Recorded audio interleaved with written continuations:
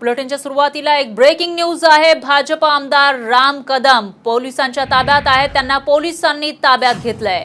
भाजपचे काही काय कार्यकर्ते सुद्धा पोलिसांच्या ताब्यात असलेले असल्याची माहिती समोर येते. तर जन आक्रोश यात्रेला परवानगी नसल्यानं ही कारवाई त्यांच्यावर करण्यात आली आहे. आंदोलन करण्याआधीच पोलिसांनी त्यांना उचललेलं आहे. पालघर हत्याकांड प्रकरणी भाजप पुन्हा एकदा आक्रमक झाल्याचं चित्र आहे. भाजपचे आमदार राम कदम आज जन आक्रोश यात्रा काढणार होते. मुंबईपासून ते थेट ज्या ठिकाणी हे हत्याकांड झालं त्या पालघर पर्यंत ही जन आक्रोश यात्रा काढली जाणार होती. मात्र या यात्रेला पोलिसांची परवानगी नव्हती.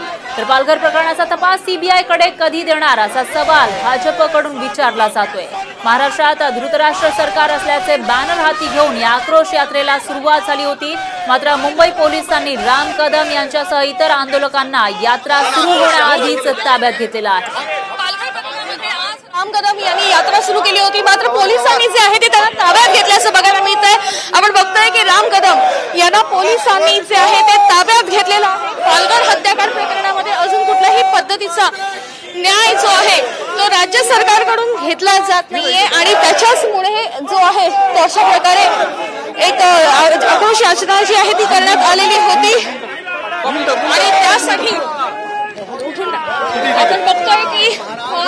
सरकार इस प्रकार से हमारी आज़ादी का दमन कर रही है। अरे जन आक्रोश यात्रा है। उन साधुओं की चीख आज भी इस देश भूल नहीं पाया। उन साधुओं की उस तली पर जा करके हम दिए जला रहे थे हमें रोका जा रहा है। ये हज़ारों पुलिस यहाँ पर आई है। इनका हम सम्मान करते हैं। पर इस प्रकार से हमारी संविधान के तहत लोकतंत्र के तहत हमारी जो आज़ादी है इसको ये सरकार दबोच नहीं सकती। अरेस्ट कर रहे हैं आज के बाद आज के बाद पूरे देश में सारे अखाड़े सारा संत समाज सारा महंत समाज सारा साधु समाज इस महाराज सरकार के विरोध में सड़कों पर उतरेगा। इस सरकार को यह मामला आज 212 दिन बीत चुके हैं। इस सरकार को सीबीआई को सौंपना होगा।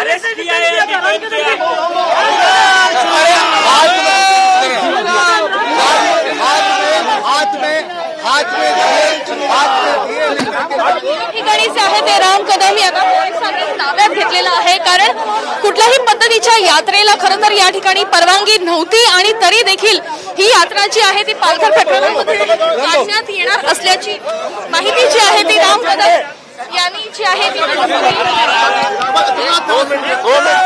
सर सर अरेस्ट भी किया त्याला त्याला त्रास होतो सर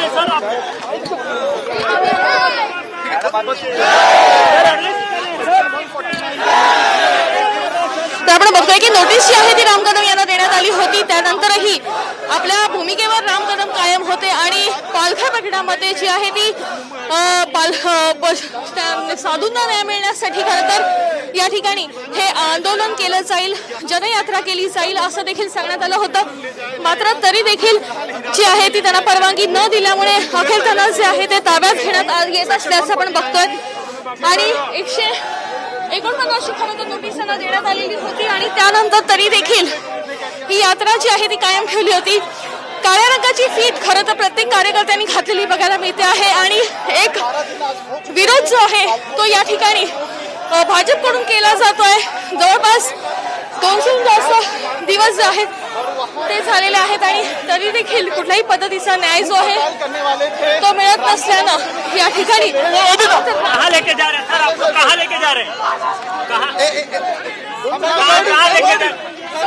कहा अतिशय दुर्दैवी आहे ज्या पद्धतीनं आमचा ज्या पद्धतीनं आवाज दाबण्याचा प्रयत्न होतोय अतिशय दुर्दैवी है पालघर साधु हत्याकांड में न्याय मिलेगा. इस प्रकार से हमारी आवाज को दबाया नहीं जा सकता. अब देश का हर संत हर साधु सड़कों पर उतरे सारे अखाड़े